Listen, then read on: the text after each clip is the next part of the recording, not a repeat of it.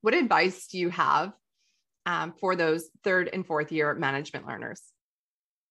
Um, I feel like if you're kind of on the edge of whether you want to like major in accounting or not, I feel like even just doing the major and getting the undergrad in it can keep your options open because if later on you decide you want to do the PEP program, it's kind of nice. You already have the courses. So if you're definitely on that kind of spectrum, like lean toward, you might as well do it.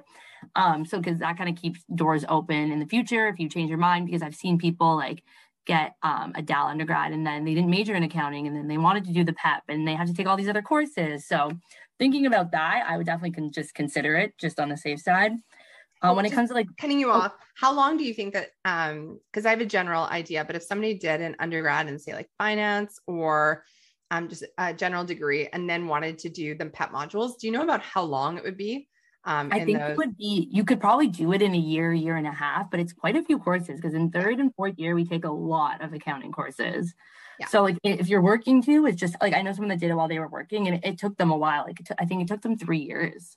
Yeah. Because it's a lot of time. It, yes, it's it's a lot of time. So I think that's really good advice um, that you're giving is like not do accounting no matter what. Like we're not selling the Kool-Aid, but we're like, hey, if you're on the fence, like you can do a CFA um, level one, two, and three with a DAL accounting undergrad, but you can't do a CPA PEP program with a finance undergrad.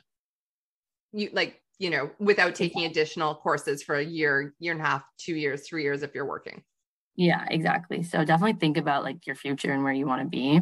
And then I guess when it comes to like online stuff, I would still try to keep like study partners. Like that's what I did throughout my PEP modules. I worked with my coworkers. Like even if it was like meeting over Skype, yeah. we would like just kind of we discuss the cases, like keeping like you having a study partner, even when this is all virtual, it's easier said than done, but definitely helps to have some support that someone understands that they're going through the same thing. It's like, yeah, you have your friends, but they don't really kind of get what you're doing. So why are you why don't you want to come to the pub? Yeah. Exactly. like they don't understand. These other people are like, let's go talk about amortization for three hours. And you're like, okay, let's do it. Exactly.